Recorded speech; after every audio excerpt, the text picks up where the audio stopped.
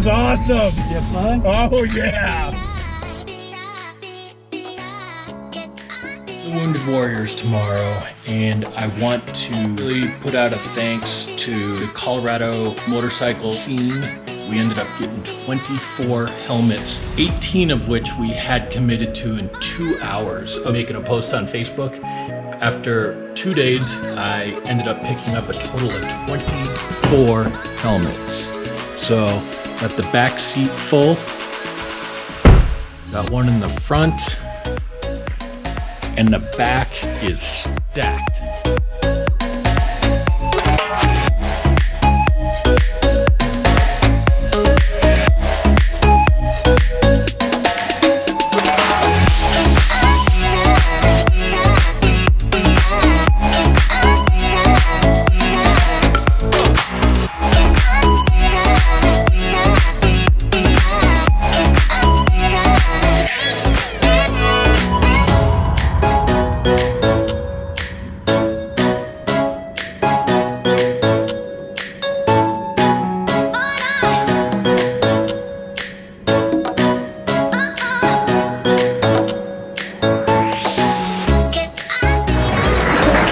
Going to go over kind of what we're going to do with the Wounded Warriors and the, the setup we have with the cars. Uh, but I just want to say thank you to Rick. Uh, we've been friends for a while now. Putting this together has not been easy. It's, we're not out here to race or win any trophies. We're out here to give a great uh, experience to the Warriors, not beat up our cars too much, have a good time, uh, and no fender bending. So, so I'll leave it up to Rick to kind of describe what we're going to do throughout the day.